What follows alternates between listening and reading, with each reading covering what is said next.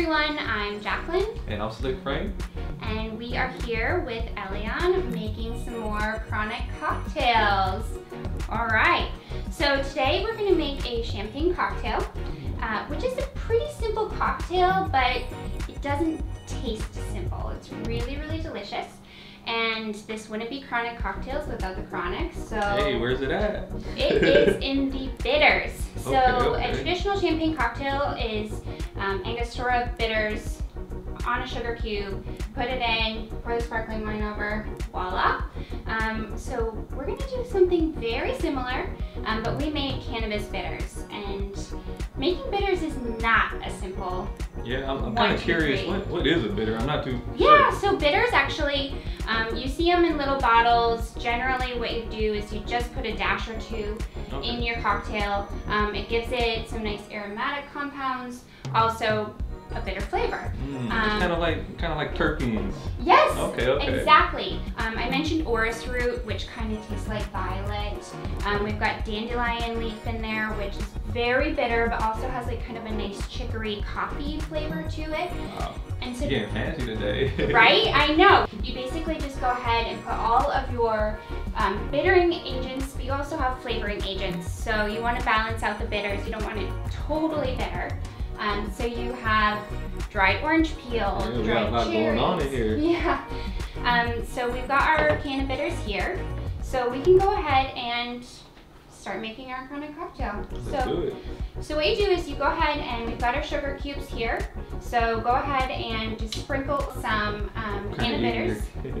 so just sprinkle Don't right on be shy. Yeah, don't be shy. Just Cool. douse that sucker. All right. So then go ahead and just pop those in there. Nice, nice little clink there. can We're already already kind of like I can kind of smell it already. The yeah, aroma. it's, it's super aromatic. Yeah, so let's get the sparkling wine. So um, generally this is called a champagne cocktail and you usually use champagne, but we are a Sonoma County based company and I like to say what grows together goes together. So we have a Sonoma County sparkling wine right here.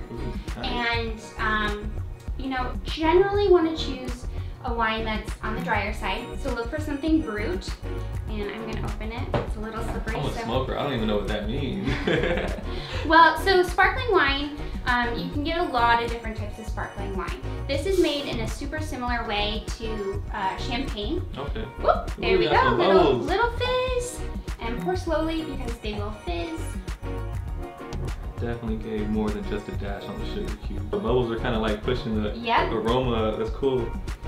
And so, um, you know, I, I didn't mention um, the most important ingredient in our cannabitters, which is cannabis. Oh yeah, I was wondering where is the cannabis in it? What kind So the cannabis is in here. You go ahead and you decarb it like you would for any, um, you know, any edibles or tinctures, and then you just let it sit in there with the other kind of see it ingredients. floating around right yep, there. exactly. We used ChemDog for this particular uh, infusion. It's a perfect ingredient for something that you want both aromatics. It's a little bitter. It's a little pungent. It's got that Yeah. kind of gassy It's kind of gassy, piney. Yeah, Yeah, definitely an old school strain with those turtles. Right, right. So it works really well with our other roots.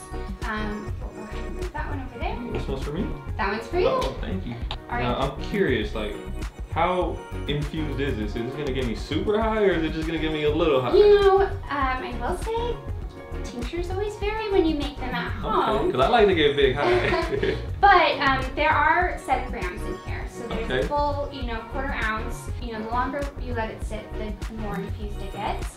Um, so I would say probably what we have is probably somewhere 10 to 15 milligrams. okay, so it's a nice light dose. Not super scientific, but uh, you know, I would say that's probably about what it is.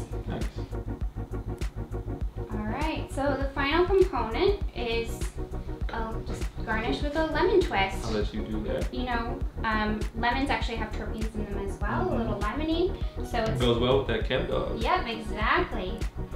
All right, so that's it. That's, That's our champagne cocktail. Hey, cheers to cheers? that. Cheers.